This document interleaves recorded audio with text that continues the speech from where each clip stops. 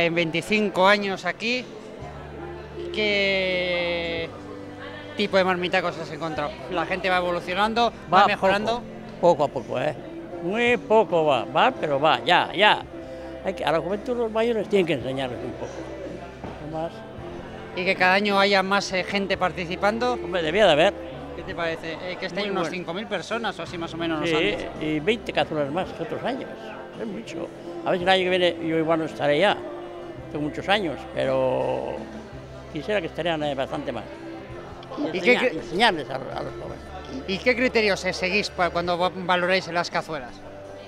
Quiero que, a ver, nosotros que ahora, yo hoy con estas tenemos que hablar, pues no sé, luego hablaremos, a ver. Estas cosas ya... ¿En qué te fijas tú cuando miras una cazuela? ¿Qué es lo que te llama la atención primero? Bueno, veces lo primero la presentación, a ver cómo está. Y si ves que está mal, prueba un poquitín, pero eh, cero, cero y así. Es mucho lo que eso. Y luego, que muchos chavales no saben. Claro, están, se hinchan ahí de beber y comer, y luego, ¿qué pasa aquí? Que no tienen tiempo a hacer. Hemen, hemen, Una la gota, hemen.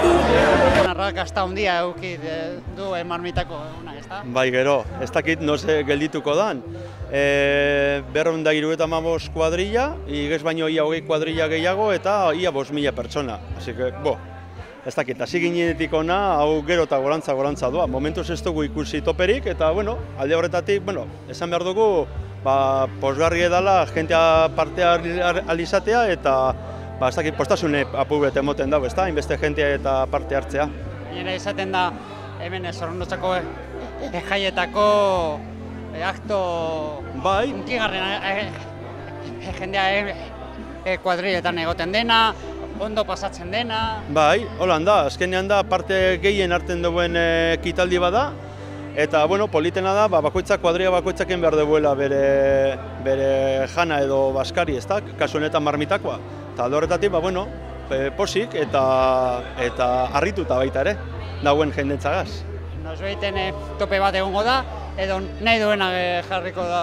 Ba, azkenean e, jentearen araberan, ez dakit parte hartzen araberan, momentuz e, gorantza doa, eta datorren urtean ikusiko dugu. E, gatz izango da e, gaurkoa gehiago egitea, e, superatzea, handitzea, baina igezbe berdin esan gendun, eta urton gainditu indogu. Orduen, e, ba, alde horretatik, e, ondo, ondo, eske ez da beste hitzik. Bai, Ba, zorionak, eh, akto politago eh, antolatzagatik eta eta sorte hon urrengo urteetan be. Eskerrik asko.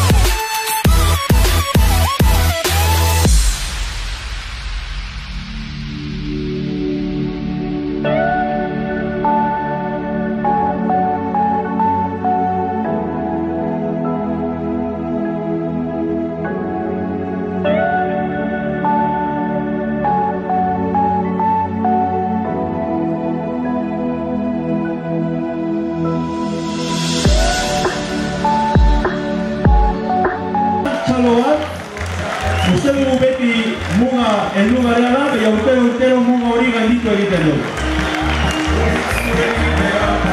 E, epaileak, probatu dabez, esan behar dugu, mai guztietatik berrun da irur eta mabost lapiko edo kuadrietatik aurkeztu dira kalkulatzen donik egun da laro eta hamar berreun lapiko, eh, utxune batzuk badauz, danak ez dotzien mon gaztiri marbitako aurkeztuteko, eta horietatik epaileak Pedro Iparraguirre Puchades, Juancho Ortega, Angelino Fernández, Sole Zarate, Carmela Ranero, Inigo Ranero, Maider Ortega, Nerea Txabarria eta Ignacio Txandio, salkatu egin dabez amasei lapiko.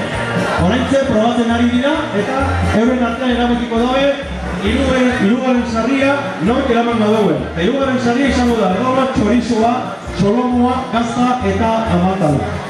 Erabakiko dabe, bigarren saria ere nortzen eramango dabe, eta bigarren saria izango da ardua, txorizoa, solomua, gazta eta amantala. Eta erabakiko dabe noski lehenengo sarile. Eta lehenengo sarie aurkon irabakinentzako pernille, bi txorizo, bi ardo, solomua, gazta eta amantala. Hor da bakarrik eta uste dut goraipatu behar dugula, aurton marbitako ere e, gainitu egin baldin badugu kopurua, Zorion du behar dut, txale jaietan, txalengean parte hartzen dozuen kuadrillei. Batez ere, urton hogeta hiru kuadrilla puntatu zarie txalengean, bai? Eta ia laurun pertsona. Txalo bat, txalengean parte hartzen dauen kuadrillei. Azkenean, jaiak, herritarrak, herrikoiak eta bultzatu egin behar doguzalako. Eta bultzatuko noski parte hartu behar du. Bueno, epaiak hartu dabe erabakia. Esan dabean nivela nahiko altua izan dela eta erabakitzea ez dela erreza izan. Bai, ezer baino harinago eta sariak emon baino harinago goraipatu behar dut hemen Pedro Puchades, Pedro Iparagirre Puchades, bete dauzelako hogeta bost urte epaie moduan. Eta Hogei garri moduen, zapi hau eskaini gura dutzugu, hogeta bost urteetan marmitako epaile izan dalako. Benetan, eskerrik asko, Pedro, eta luzerarako egon zaitezera hemen gurekin.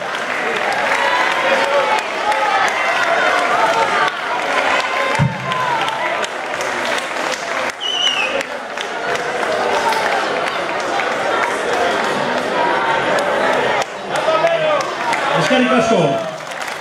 Aipatu behar, Pedro, epaien modu nazi zanien, amazortzi kuadria izaten ginen marmitako, ne? Orain berreun da iruro eta madoz. Gitxibez. Bale, hori esan da, eta eskarrak emonez Pedro Iparagirri putxadez, esango dugu irugarren epaiak nori emondotzien irugarren saria. Saria moduen ardoa, txorizoa, solomoa, gazta eta mantala, etxekoa. Etxekoa.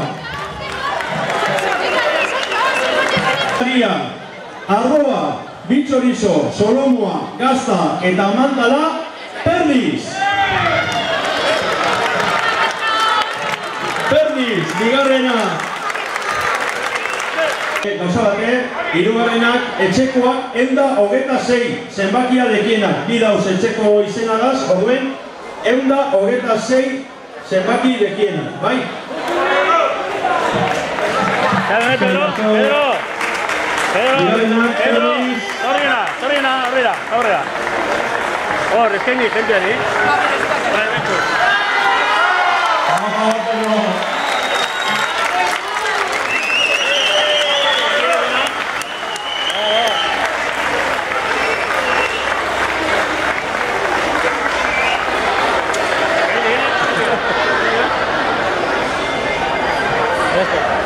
Venga, Eskerrik asko. Eta lehenengo salie, pernille, bitxorizo, bi ordo botella, solomoa, gazta eta mantala, ekin eta ekin.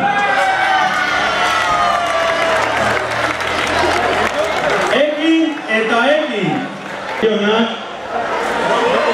zorionak.